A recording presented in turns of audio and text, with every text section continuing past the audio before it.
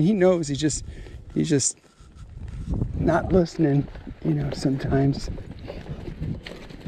Uh, i was just thinking of a good way to describe this like what goes on with a horse. And it's kind of like this like you're competing with their thoughts right?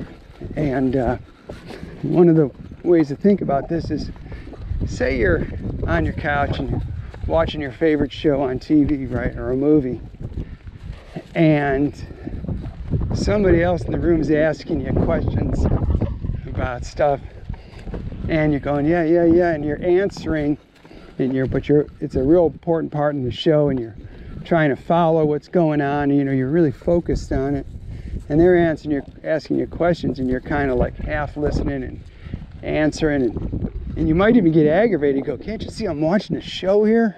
You know, can you give me a